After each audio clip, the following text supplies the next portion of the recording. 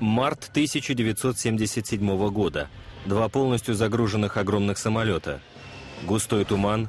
Страшное столкновение. Самая страшная катастрофа в истории авиации. И тайна, которая поставит в тупик десятки авиаэкспертов со всего мира. Смотрите все о катастрофе на острове Тенерифе в этом выпуске программы. Последний заход.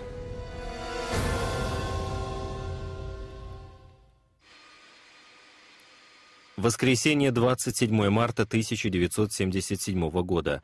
Канарские острова.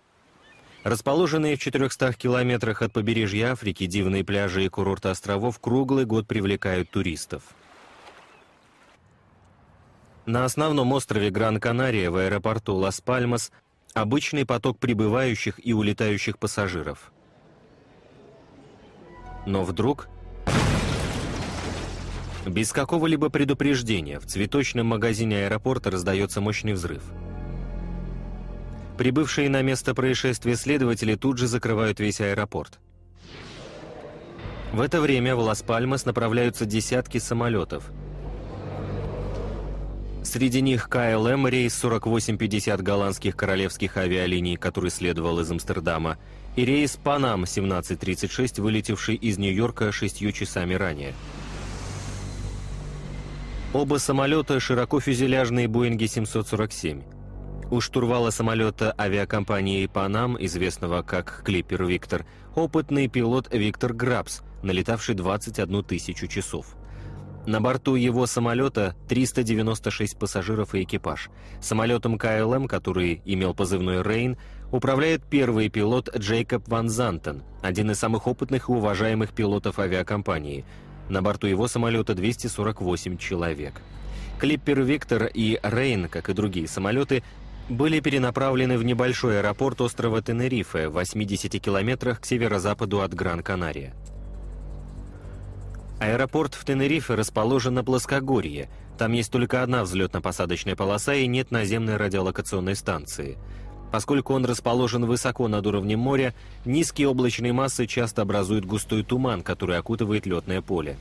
Погода на Тенерифе может измениться в мгновение ока, внезапно может начаться проливной дождь. Пока перенаправленные самолеты начинают приземляться, специалисты в Лас-Пальмас выясняют, что взорвалась бомба, которую заложила радикальная террористическая группировка, борющаяся за независимость. Аэропорт в ближайшее время будет снова открыт. Между тем, самолеты «Панам» и «КЛМ» уже находились в Тенерифе и ожидали разрешения на взлет.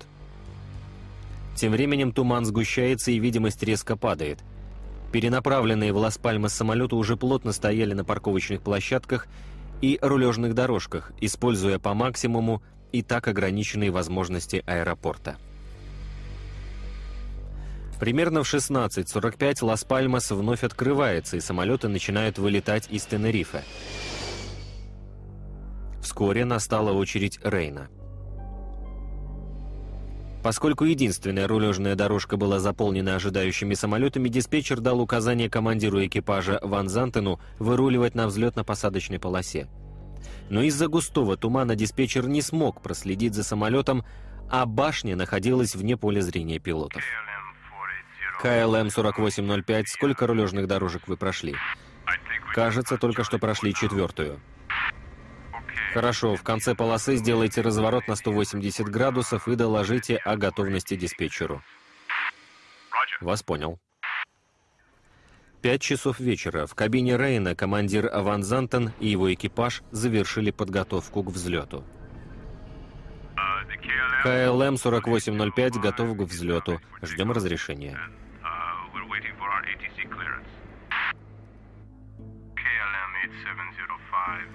KLM-4705 вам разрешено на знак Папа. Поднимайтесь и держите эшелон 9.0. После взлета поверните направо и следуйте курсом 040 до выхода на радиал 325 от ВОР, Лас-Пальмас. Вас понял, сэр. Двигаемся на Папа. Эшелон 9.0, правый поворот 040 до захвата 325. Мы на взлете.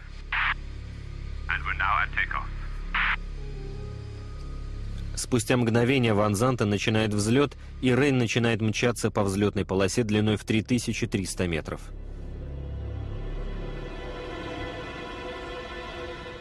Внезапно в густом тумане появляется клиппер Пан-Ам прямо у них на пути.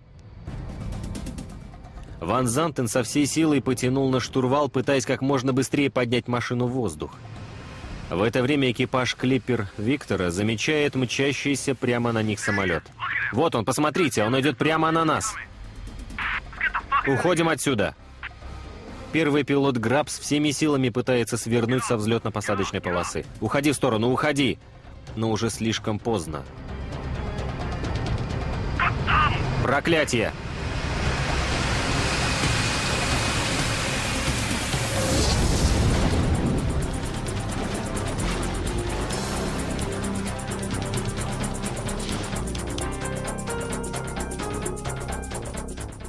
Как могли два столь современных самолета, управляемые опытнейшими пилотами, одновременно оказаться на одной полосе – эта тайна озадачит следователей со всего мира.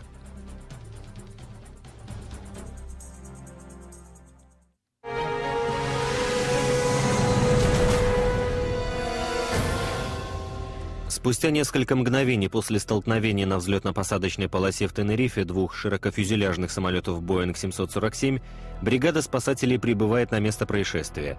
Среди очевидцев местный репортер Густаво Аруас. Было около пяти часов вечера. Я обедал вместе с группой журналистов. Кто-то позвонил и сообщил о катастрофе. Y lo que hicimos fue coger y nos llamaron por teléfono y nos dijeron que había un accidente aéreo en, los, en, Сперва я подумал, что это шутка. Но, посмотрев в окно, увидел поднимающийся столб дыма. Мануэль Фандино тоже находился там в тот день. Мы услышали шум и увидели дым. Я схватил свой фотоаппарат и запрыгнул на чей-то мотоцикл. Мы поднялись на близлежащий холм и стали фотографировать. Но затем я спустился вниз, чтобы помочь спасти людей. Ya con, yo ritmaba un poquito, que empecé a sacar fotografías, bueno, y a, y a salvar la gente. Местный журналист Энрике Рэй Питти никогда не забудет ту страшную картину. Это было ужасно, словно сцена из ада Данте. Повсюду были разбросаны обувь, чемоданы, двигатель здесь, обломок фюзеляжа там. В воздухе стоял смрад. Невероятно, но среди пылающих обломков были живые люди. И только потому, что столкновение произошло именно так – когда пилоты Панам увидели стремительно надвигающийся самолет, они отчаянно попытались свернуть с полосы. Пилот КЛМ Джейкоб Ван Зантен попытался взлететь, но не успел поднять машину в воздух. Когда клиппер Виктор уклонялся влево, самолет KLM врезался в верхнюю часть фюзеляжа Pan Am, сорвав верхнюю часть, в результате чего в салоне первого класса вспыхнул огонь. Через 450 метров самолет KLM рухнул и взорвался. Первый пилот Ван Зантон, члены экипажа и пассажиры, все 248 человек, погибли. В кабине экипажа «Панам» первый пилот Виктор Грабс протянул руку вверх за рукояткой противопожарной системы, но там ничего не было. Верхнюю часть самолета словно срезало ножом. Членам экипажа посчастливилось. В живых остался всего 61 человек. Но погибли 583. Катастрофа в Тенерифе до сих пор остается самой страшной в истории авиации. Почему это случилось? Сразу после катастрофы начали раздаваться телефонные звонки в штаб-квартире ПАНА в Нью-Йорке и в главном здании КЛМ в Нидерландах, в Национальном комитете по безопасности на транспорте в Вашингтоне и в Испании, в отделах новостей по всему миру. Из-за небывалого масштаба произошедшего эта новость занимает первые страницы всех мировых изданий. Специалистам приходится устанавливать причину катастрофы под небывалым давлением. Одним из первых, кто почувствовал это давление, голландский следователь Бруно Кларе. Даже на столь раннем этапе, казалось, у каждого есть своя теория. Чего нет ни у кого, так это реального объяснения. Два 747-х Боинга сталкиваются, и до меня доходили разные слухи о произошедшем. Говорили, что один самолет приземлился на другой. Я не мог в это поверить. В уме прокручиваются все возможные варианты. Что могло случиться? Что там происходило? Клары и его команда немедленно садятся на свободный 747 в аэропорту Шипхол вблизи Амстердама. Спустя четыре с половиной часа они прибывают в Лас-Пальмас. Но им еще предстояло добраться до Тенерифе. Это было ужасно. Они арендовали какой-то старый вертолет, а я их не переношу. Видимость была низкой, но некоторые участки были освещены, и было видно, как люди извлекали тела из-под обломков. Это первое, что я увидел. Жуткое зрелище. Специалисты из Национального комитета по безопасности на транспорте вскоре присоединяются к Кларе и остальным следователям и создают международную опергруппу. Им предстоит ждать, пока тела не извлекут и не перевезут во временный морг, сооруженный в пустом ангаре. Солнце взошло, и нам удалось лучше разглядеть место катастрофы. Мы увидели кошмарное месиво. Повсюду валялись обломки двигателей. Несмотря на происходящие другие работы, следователи тут же принялись за дело. Первым делом надо было найти черные ящики обоих самолетов. Рассчитанные выдерживать сильные удары даже при столкновениях такого масштаба, черные ящики могли многое поведать о том, что происходило в кабинах пилотов обоих самолетов в критический момент перед столкновением. На каждом самолете по два черных ящика – Бортовой самописец фиксирует входные сигналы управления и технические параметры полета. Речевой самописец записывает все звуки в кабине пилотов. Джим Кэш, аудиолог Комитета по безопасности на транспорте.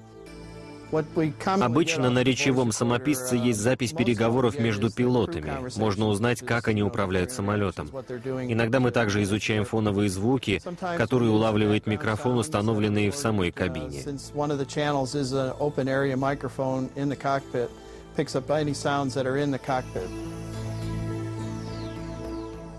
Разыскивая черные ящики, эксперты обнаруживают нечто неожиданное —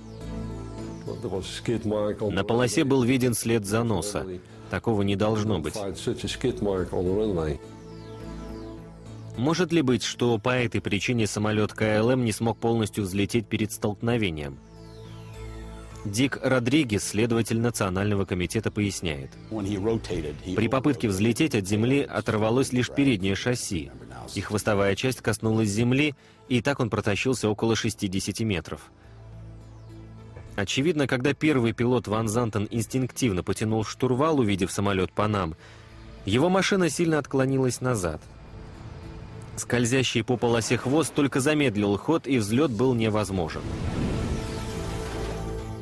Но эксперты вскоре определяют, что КЛМ в любом случае не избежал бы столкновения с Клиппер Виктором.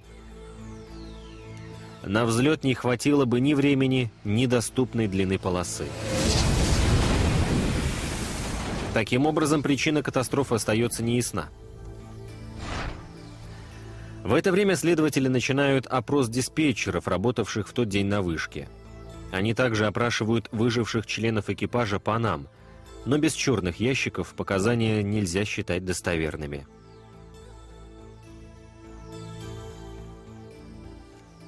Наконец, черные ящики найдены –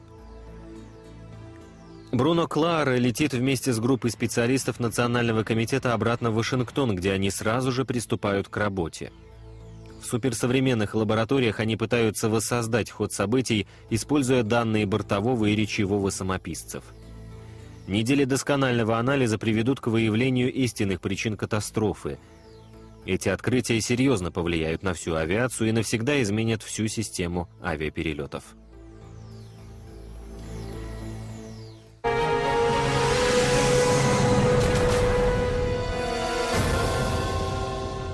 При расследовании столкновения двух широкофюзеляжных самолетов в Тенерифе эксперты узнают, что оба воздушных судна должны были находиться на одной полосе. Это стало результатом невероятной перегрузки аэропорта на Тенерифе. В момент столкновения на единственной рулежной дорожке было полно других самолетов – Пилотам КЛМ пришлось рулить до конца взлетно-посадочной полосы. Там они должны были развернуться, а потом по той же полосе и взлетать. Пока они разворачивались, по нам дали разрешение на выруливание на одну из боковых дорожек. Затем ему было предписано движение по рулежной дорожке к началу взлетно-посадочной полосы. Самолет «Панам» Клиппер «Виктор» следовал прямо за ним, а КЛМ «Рейн» достиг конца полосы и начал разворот на 180 градусов. Нам дана инструкция тоже выруливать на полосу, правильно? Подтверждаю. Выруливайте на полосу и съезжайте на третью дорожку слева от вас.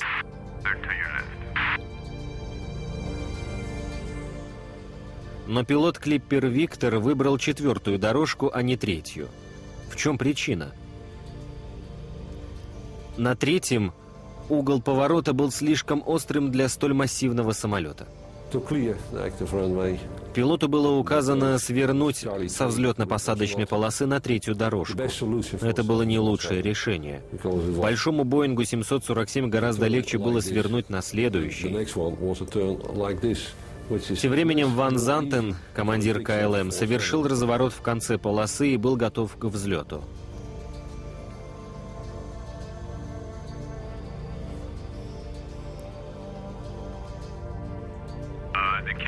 KLM 4805 готов ко взлету.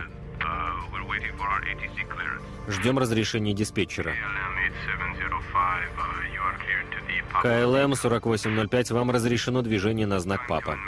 Поднимайтесь и держите эшелон 9.0.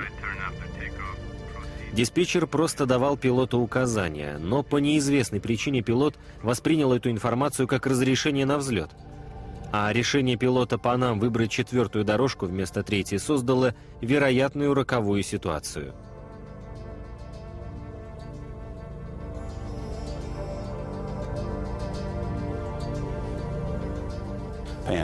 Pan Am еще не добрался до съезда, когда KLM дали разрешение на взлет. Из-за густого тумана и отсутствия наземной радиолокационной станции никто не мог увидеть создавшуюся ситуацию или каким-либо образом повлиять на ход событий. Мы на взлете.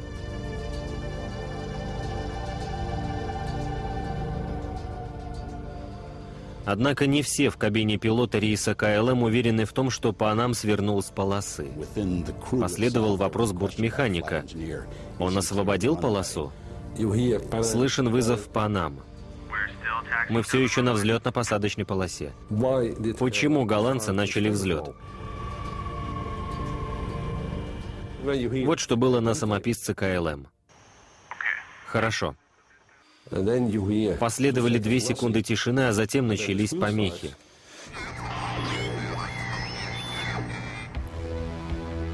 К несчастью, из-за перебоев радиопередачи командир экипажа Ван Зантон так и не услышал ни предупреждения по нам о том, что они все еще находятся на ВПП, ни указания диспетчера выждать разрешение на взлет.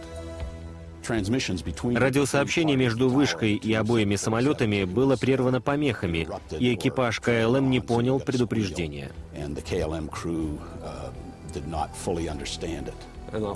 Конечно, прослушав фрагмент записи 150 раз среди помех, можно расслышать фразу «пока не взлетать».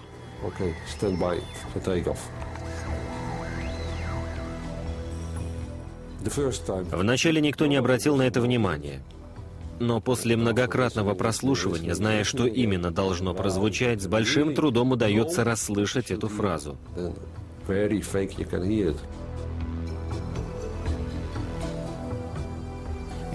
Пилот не ответил и продолжал разгон. Вот он, посмотрите, он идет прямо на нас. Уходим отсюда. Уходи в сторону, уходи с полосы.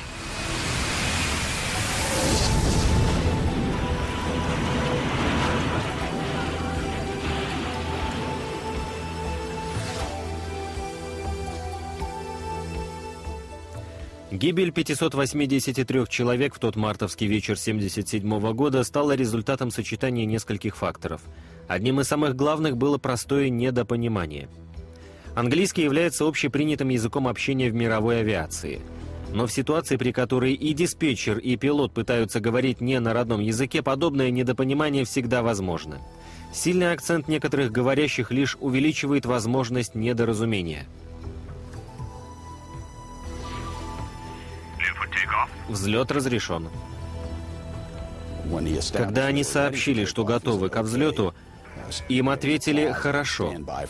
Далее следует пауза и «ждите разрешения на взлет». Хочу подчеркнуть тот факт, что и экипаж КЛМ, и диспетчер пытались объясняться на неродном языке.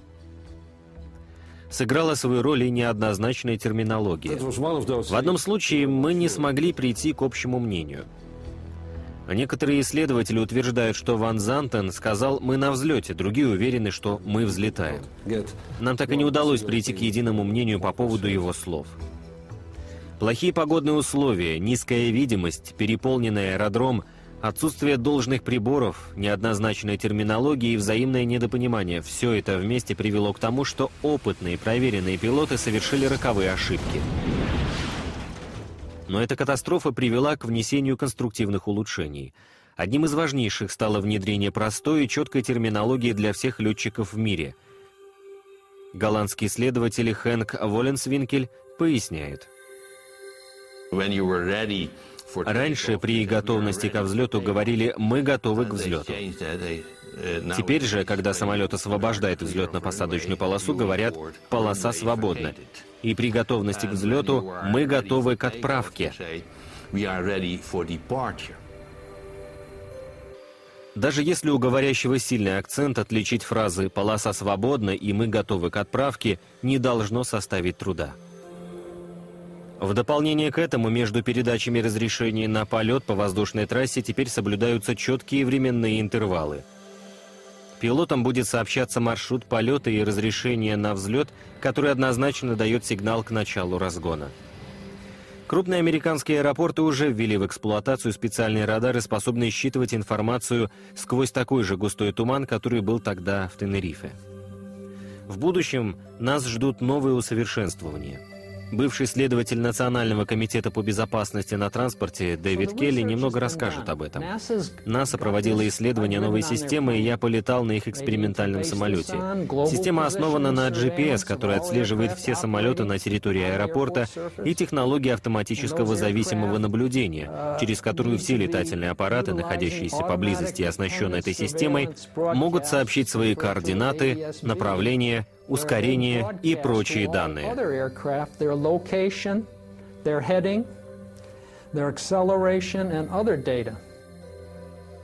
Система GPS сейчас установлена во многих автомобилях, а уроки, извлеченные из катастрофы на Тенерифе, кажутся элементарными. Но порой именно такие незначительные нововведения отделяют успешный взлет от катастрофы. И хотя эти уроки были получены невероятно горьким опытом, они привели к изменениям, которые сократили возможность повторения подобной катастрофы до минимума. Программа к показу подготовлена компанией SDI Media Group, перевод Марии Мороз, текст читал Роман Антонович.